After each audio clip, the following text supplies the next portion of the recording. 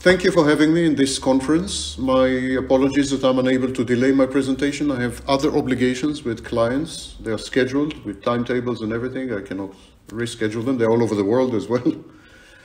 Um, my name is Sam Vaknin. I'm a professor of psychology in Southern Federal University, Rostov-on-Don in Russia, and I'm a professor of finance and a professor of psychology in the outreach program of CIAS, CIAPS, Center for International Advanced and Professional Studies. My contract obligates me to use this introduction in all my presentations. So you have my deepest apologies for inflicting it on you. Today I would like to discuss workaholism, is it an addiction or is it a lifestyle? Here's an unpleasant taboo fact. We have a very conflicted relationship with work. Work keeps us alive. Work sustains us. Work is a part of our identity. Work carries us forward through the day. Works, work gives meaning to our lives.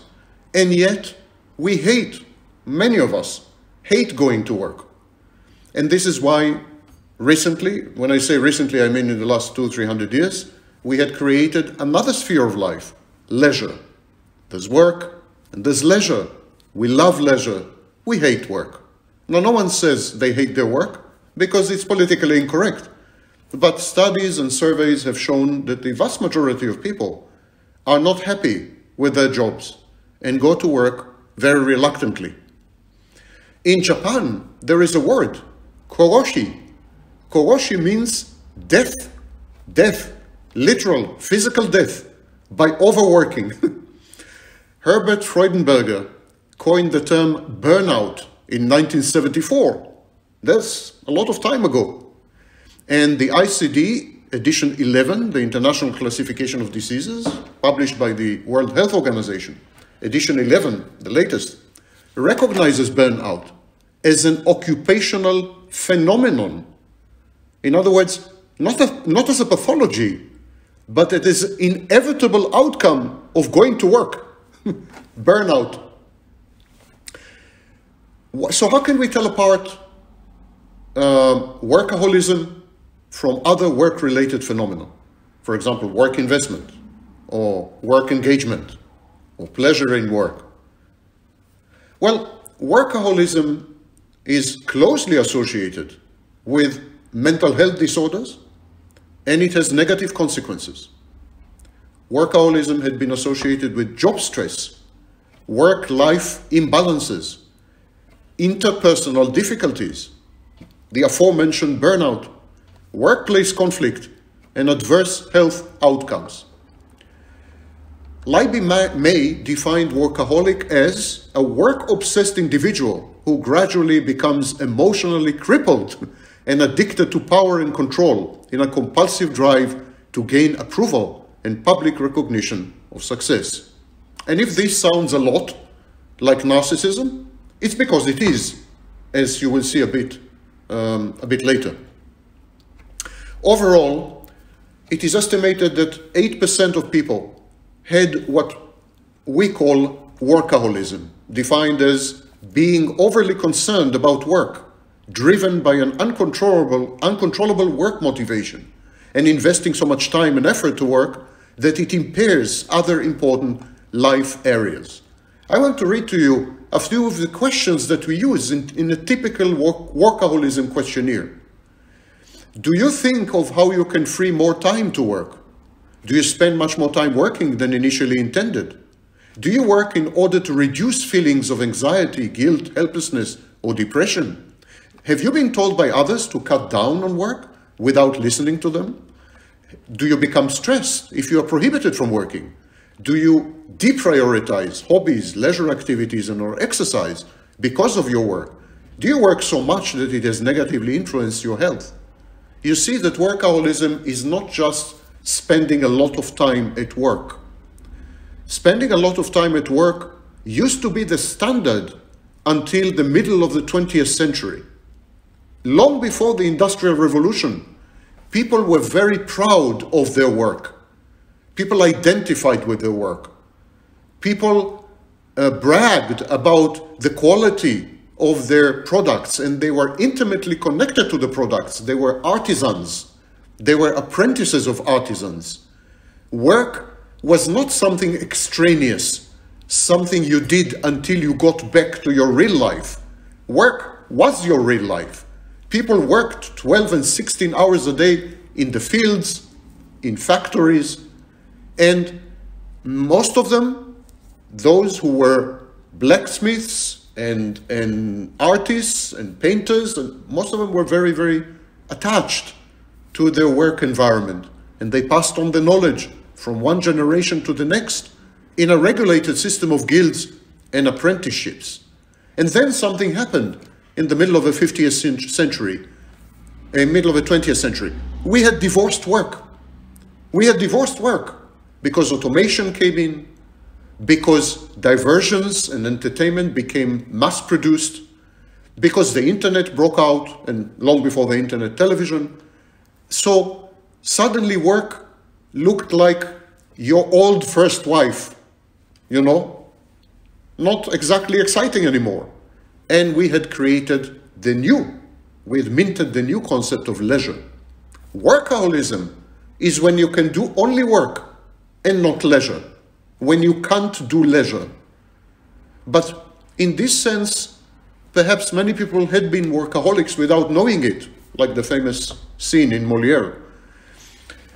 Workaholism caters to many psychological needs. It is a dimension of identity. It is gratifying. It ensures a sense of well being. It guarantees narcissistic supply, attention.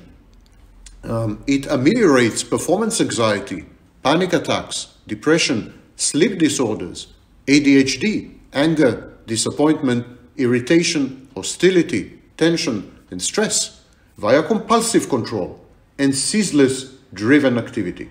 In other words, the best description of workaholism is self-medication. It's a self-medicating, self-soothing activity in the same category as overeating. It has therefore strong addictive features. I refer you to work by Graves, Ruderman, Ohlott, Weber, for example, in 2012.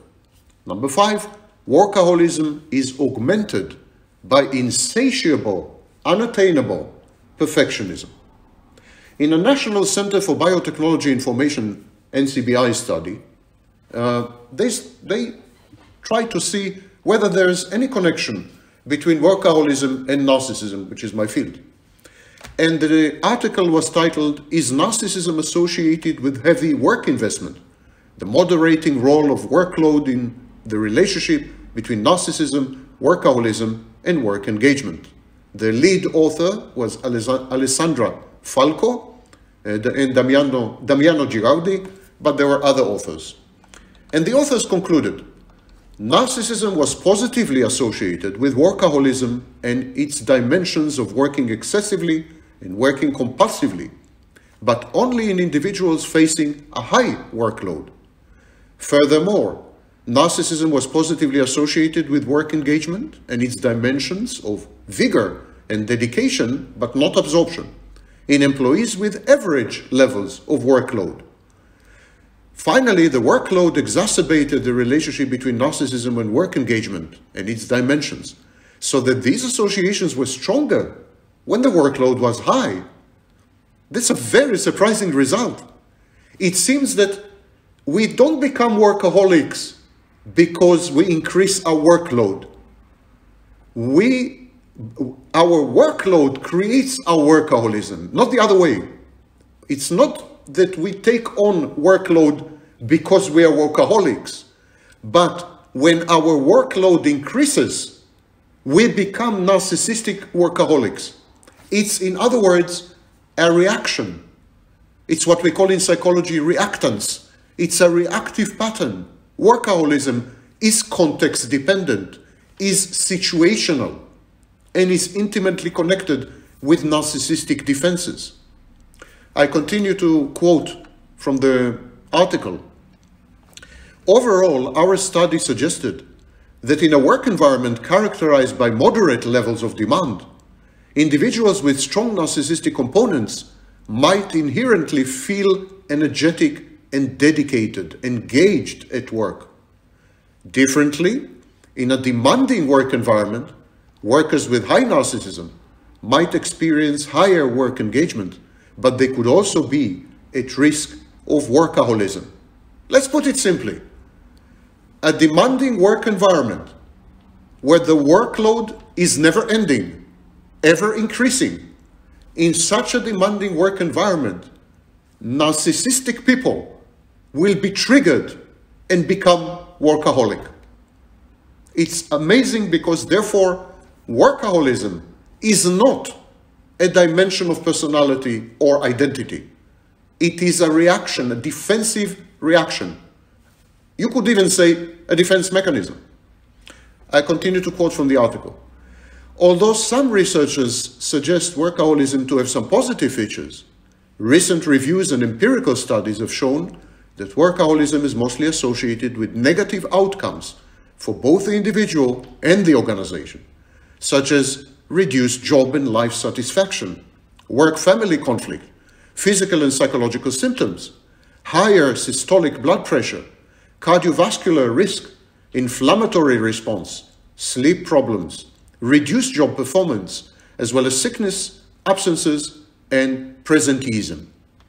On the contrary, work engagement, which is the opposite of workaholism, work engagement is mostly associated with positive outcomes for the individual and for the organization, such as physical and mental health, work ability, work family enrichment, job and life satisfaction, organizational commitment, as well as task and contextual performance. We believe that building on the biopsychological, biopsychosocial model, this study contributed to the growing body of evidence about the interaction between personal and situational factors in explaining workaholism and work engagement, a bad and good form of heavy work investment, respectively. More specifically, our study showed that narcissism was positively associated with workaholism and its dimensions only in individuals facing a high workload. Furthermore, narcissism was positively associated with work engagement and its other dimensions in employees with average works, uh, levels of workload, as I've said before. So, um, this opens a whole new vista, a whole new vista of thinking a whole new vista of thinking because interventions in organizational context that are only focused on workaholism, interventions that are only focused on workload, regulating, smoothing out workload, reducing workload, are not going to work. Interventions should deal also with narcissism. If the intervention doesn't deal with narcissistic gratification, narcissistic supply, narcissistic rage, narcissistic control, narcissistic defenses, narcissistic self-states. If narcissism is ignored, interventions will not work. Workaholism disrupts the life-work balance, so it can be conceived or reconceived as a form of schizoid style. Because when you're a workaholic, when you have workaholism, you, you don't have emotions. You are mechanical. You're avoidant. These are schizoid features. And of course, the schizoid core, what Jeffrey Seinfeld calls the empty core, Guntrip, the empty core is deeply associated with narcissism. All schizoids are, to a large extent, narcissists. I refer you to work by Fairbairn, Guntrip, and others. So, workaholism, narcissism, schizoid reactions, no emotions, no friendships, no personal contacts, no sex, no intimacy, no family. Work, work, work. Work becomes all consuming and it is also grandiose. Because when you're a workaholic, your grandiosity tells you that no one can do the job as well as you. The workaholic never delegates. In a study in 2015 on women survivors of intimate partner violence and another study in 2013 on survivors of childhood sexual abuse, we found out that these groups of people, traumatized victims of abuse, may be inclined to overwork. So it's a compensatory mechanism. intimately linked with reassertion of grandiosity. You see, the abuse victim feels helpless. There is learned helpless, helplessness through intermittent reinforcement, through bullying. So the abuse victim feels helpless.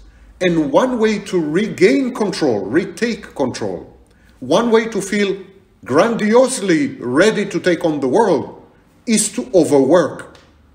Narcissism is a post traumatic condition, don't forget this.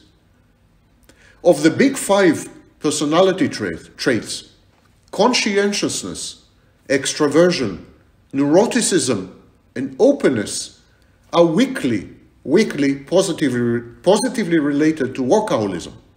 Agreeableness is negatively related to workaholism. I refer you to studies by Andreassen, Hetland, Pallesen, 2010, Burke, Matthiesen, Pallesen, 2006, Clark, Lelchook, Taylor, 2010, and others. Type A personality achievement, type A personality, achievement motivation, perfectionism, they are strongly correlated with workaholism, as is narcissism. And I refer you to work by Andreassen, Ursin, Eriksen, Pallesen, 2012, Clark et Allies, um, 2010. There was a paper published titled The Relationships Between Workaholism and Symptoms of Psychiatric Disorders, a large scale cross sectional study.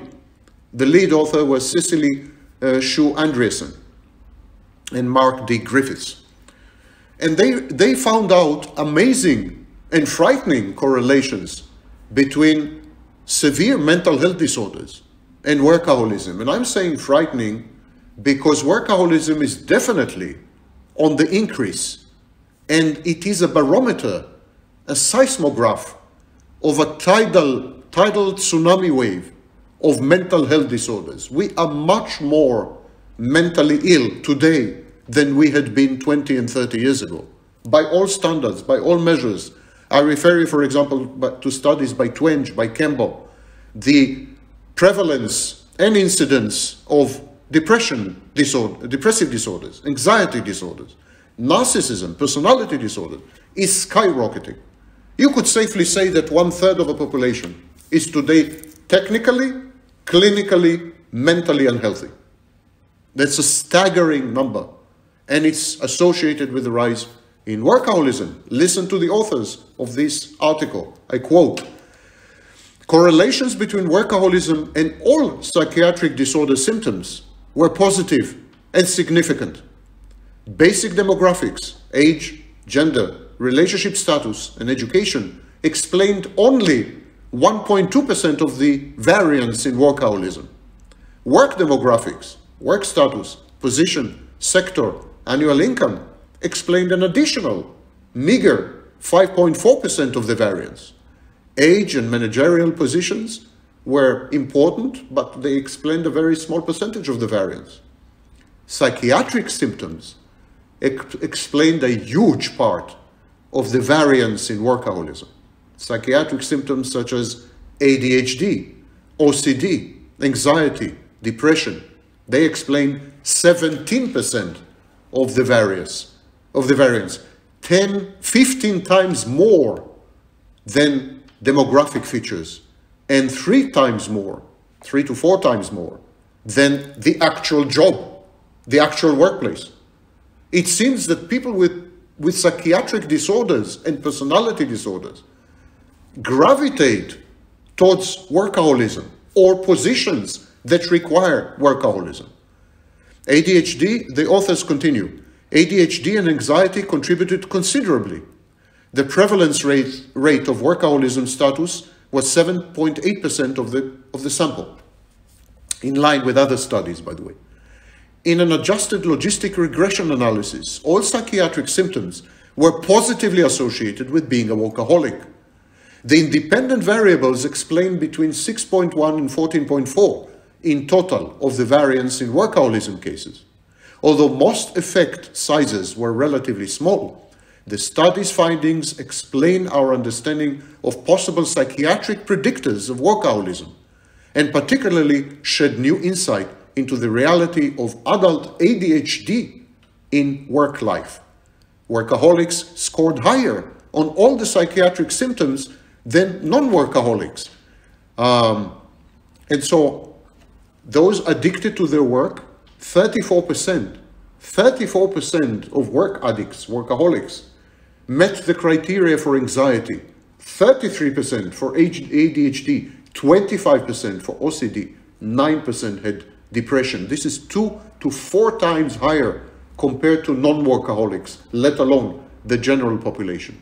The authors say individuals with ADHD may have to work harder and longer to compensate for their work behavior caused by neurological deficits. They may also be at risk of taking on projects and tasks impulsively, resulting in more work than they can realistically do within normal work hours.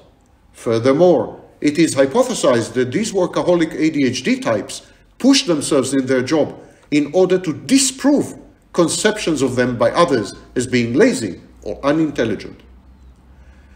And so people who are workaholics are usually young, contra to the myth that all older people are workaholics, actually the young people are workaholics. Single workers, people who are single, people with higher education, managers, self-employed, people who work in the private sector, women. Women are much more likely to be workaholics than men. This flies in the face of all the stereotypes because we have this Japanese actually stereotype of the salary man, the middle-aged man who goes to work and becomes workaholic. But the actual picture is a young woman who is highly educated. That's the typical workaholic. But which is the chicken and which is the egg? Any addiction can bring out these disorders. If you're an alcoholic, you develop ADHD, you develop OCD. Alcoholism involves alcoholic myopia, which is a form of grandiosity. Alcoholism reduces empathy. So maybe all these effects are the results of, uh, of workaholism. Not, they are correlated with workaholism because they were brought on they were engendered. They are comorbidities of workaholism because workaholism created them. It's a hypothesis. Because work uh, carries multiple psychosocial functions. Work is an organizing principle. It imbues life with meaning and direction. It boosts self-esteem. It is a sublimatory channel. We redirect aggression, and we redirect the sex drive into work because work is socially acceptable. So we sublimate these drives. And work is, of course, a great distraction with an A, a form of entertainment, an avoidance tactic. In a science brief published in Psychological Science Agenda in April 2006, the title was Workaholism is not just long hours on the job. The brief was authored by Malissa Clark, and the author wrote, the term workaholism was coined in 1971 by minister and psychologist Wayne Oates, who described alcoholism as the compulsion or the uncontrollable need to work incessantly. Since then, she says, research on workaholism has been plagued by disagreements surrounding how to define and how to measure the construct. For example, workaholism has been defined as an addiction to work by Ng, uh, Sorensen, Feldman in 2007, Porter in 2006, Robinson in 2000. It has been defined as a pathology by Fassel in 1990. It has been defined as a behavior pattern that persists across multiple organizational settings by Scott Moore Miceli in 1997. And it had been described as a syndrome comprised of a high drive, high work involvement, and low work enjoyment by Aziz and Zickar in 2006. In an effort to reconcile these varied perspectives, writes the author, we identified um, key commonalities across these definitions. And we use these commonalities to form com a comprehensive definition that includes the following components. Feeling compelled to work because of internal pressures, having persistent thoughts about work when not working, and working beyond what is reasonably expected of the worker, as established by the requirements of the job or basic economic needs. And this is despite the potential for negative consequences, health consequences, marital issues. I refer you to Clark, Michel, Zhdanova, and uh, Pui and Baltes, um, um, uh, most recent article. Let us summarize. We have difficulties uh, reconceiving work. Work has been with us since the inception of the human species, probably a million years, but only in the last 50 years, 5-0, which is nothing in historical terms and definitely nothing in psychological terms. Only in the last 15 years, we had redefined and reframed our relationship with work. We had created a new sphere of life called leisure, which did not exist until the second half of the 20th century, except for the aristocracy. Aristocracy had only leisure, and we had incorporated it into a model of life. And this automatically created conflict between work and leisure. One of them became desirable, leisure, and one of them became undesirable, work. So now, everything associated with work took on negative, a negative tone. Workaholism could be conceived as a historical reframing of our attitudes to sex, in, uh, to, uh, sorry, to work. In other words, an attitudinal uh, issue, a lifestyle issue, not a psychological problem. Another option is that workaholism is a reflection, a reflection of mental health issues, psychiatric disorders, and also serves to amplify them, to magnify them, to increase them and enhance them. It's a second possibility. A third possibility. Some people with some types of mental health disorders, for example, ADHD or OCD, they use workaholism and perfectionism to cover up for their deficiencies, to disguise their mental health issues, to compensate, and to present to the world a perfect, flawless facade, to fit in, to belong, to conform, to sublimate. That's a third possibility. What do we know by now? We know that the last two are probably true. Workaholism is associated with mental health illness issues, severe mental illness issues. In other words, it can be easily construed as a sign or a symptom of mental health issues.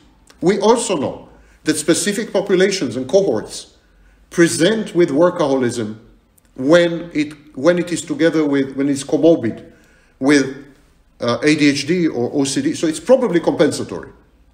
Regarding the psychosocial view, that we are redefining our relationship with work, that's a work in progress. We are still not sure. As automation increases, as globalization increases, with the new constraints of the pandemic, with the disintegration of institutions, including micro institutions such as the family, with a growing tidal tsunami wave of narcissism, dysregulation, promiscuity, and other forms of social anomie, we are still not sure where workaholism fits in. But it doesn't look good. It doesn't look good. It looks very, very much like sickness on the body of the organization and on the body of the individual who engages in it. Thank you for listening.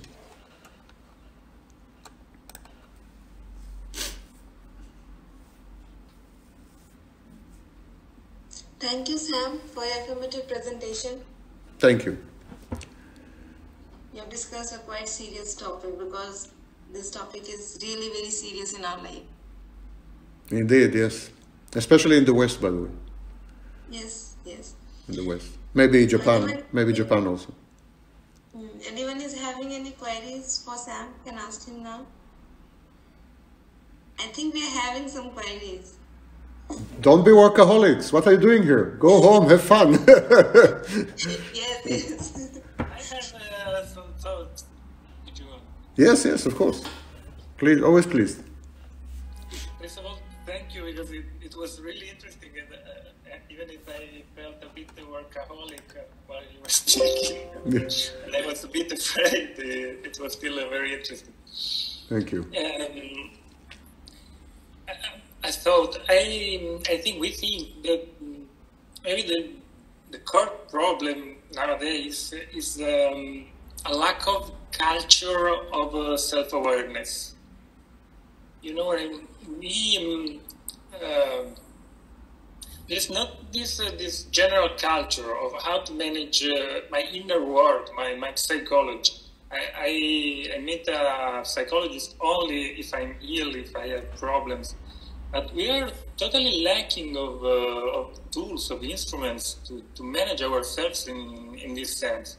And I think that's why we will fall so easily in this kind of uh, tricks like becoming alcoholic as um, totally automatic uh, mechanical responses to difficulties uh, mechanism as you said of compensation. Because we are totally not aware of what what goes uh, what is uh, going on within us in our uh, psychology. uh, I think this is a very important point for, for prevention for acting before uh, this big, huge, uh, uh, freaking wave of uh, narcissism and uh, mental illness you spoke about is, uh, will, will overwhelm us. And, and, I think this is a, a very interesting point. I think this is the core point, a, a culture of self-awareness, to, to, spread, to, to, to share a culture of self-awareness, of instruments to manage ourselves. Um, I wanted to know what you think about. Well, the British Object Relations School in the 1960s and into the 1990s, actually, they were the first to suggest that what we call the self or the ego is relational. It's not a standalone unit. And in this sense, our very concepts of individual and personality are probably wrong because they imply that we are atoms. Of course, this attitude in philosophy reflects the atomization of society. It's, it simply went along with society. It was bon ton to be individualistic, bon ton to be self-sufficient, bon ton to separate and, and individuate, if you wish. So that's my first comment. Self-awareness, and I, I, don't wish, of course, to to minimize what you had said, but I think self-awareness is definitely only one of the requirements because once you become self-aware, let's say, you may become aware of massive deficiencies, relational deficiencies. You may become aware of severe dissociation. You may become, I mean, self-awareness is a two-edged sword. You may become of a self that you will reject wholeheartedly you will not like the self that you discover. Actually, I think a lot of the lack of self awareness is a defensive mechanism against the disintegration of relationships, institutions, society at large. And I'm not the first to say this. Emil Durkheim said it long before me when he referred to anomic societies. Actually, one of his most famous books is On Suicide. He predicted, he predicted. And of course, Guy Debord, Society of the Spectacle, numerous others. Everyone had been warning, from Foucault to, uh, everyone had been warning, that we are going to lose ourselves because the self is not floating in space, it's, it's heavily dependent for nourishment and, and boundaries. For, I mean, take the concept of boundaries. What is your boundary? Your boundary is where you stop and the world begins. But what if there is no world? You cannot have boundaries. You're unbounded by definition because you need to have something external against which you can bump, against which you can become, the process of becoming. And so self awareness is not the panacea because we really are in big trouble as far as the environment. And so as long as we have this situation, which is anomy, I think we uh, the the the incidence and prevalence of mental health issues will increase inexorably and cannot be stopped because one way to look at mental health issues of all kinds, with the exception of biochemical ones, like schizophrenia and so on. One way to look at mental health issues is as a form of escape. As a form of escape. We don't want to live in reality. We don't want this world. It sucks. We want out. We are opting out in droves. Billions of people are opting out, sometimes via substances, sometimes via retreating into a world of inner objects, giving up on external objects, deleting object relations, and having object relations only internally, which is a great definition of psychosis, narcissism, etc. So the, we had created uh, we had created a situation where we the only skeleton we have is endoskeleton. We no longer have exoskeletons. We no longer have supports. And we have to rely on ourselves, but we cannot even become self-aware because it's risky, because self involves relationships, and we don't have them. So we are not self-aware. We have to rely, to summarize the answer, we have to rely on something that we are not allowed to be aware of. It's a paradox. I mean, you, you have to rely on something. Your only source of support is yourself, but you're not allowed to be aware of yourself. It could be too traumatizing. It's a conundrum. It's unsolvable. It's a huge problem. Thanks. Yeah. Mm. I agree. Yeah. I, I uh, enjoy the discussion very much. Thank you. Uh, I would just like to provocatively say that it is, I would like to optimistically hope that it is solvable in a way um, through different aspects because I'm an applied neuroscientist. And if I want hope also for my children and for uh, the next generation, I prefer to think that we can go from the automatization, which you mentioned, to self-definition and to better relationship with the other. And uh, I hope we're, I think we're all aware of this and working also to, to improve it. But Sam, thank you so much for this uh, very, very, very deep uh, lecture. I would like, I would like, just like to make one comment and then I'll give space to the next uh, speaker. The, the, the primal sin of psychology, psychiatry, and neuroscience, the primal sin is the focus on the individual. We must begin to apply psychology to society. We must begin to think in relational terms we must begin to think in network terms. We must begin to consider people as nodes, nodes in Indra's net, in a network. And we must begin to heal society. And perhaps I would say we must begin to treat and heal society long before we try to heal and treat individuals. The context, what I call the ego ecosystem, like the ecosystem, the ecosystem the context are critical. If there is an extinct species, you want to revive the species, the first thing you do, you create the appropriate environment. You put rocks, you put plants, you make sure there's sunshine. Only then you bring the species into the environment. We are trying to heal and modify and cure and help individuals embedded in a sick decaying, decomposing environment. It will never ever work. It's like watering a plant but denying the plant sunshine. Finally, the plant will rot, rot away. We must begin as psychologists to stop thinking in terms of individuals. That was a huge mistake which started more or less at the end of the 19th century. Huge mistake. And we must revert to relationships community, society, frameworks, collectives, environment, ecosystem, and ecosystem. We must become environmentalists. Thank you. Thank you.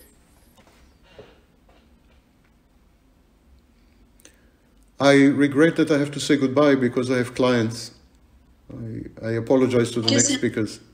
Thank you, Sam, for your informative presentation. Thank you very much for having me and for tolerating me. See you all. Take care. I care. request you to send. I request you to send your full-length article as well as your presentation to in our mail. Thank you. Thank you kindly. I hope you recorded your video, so you please send that to our mail.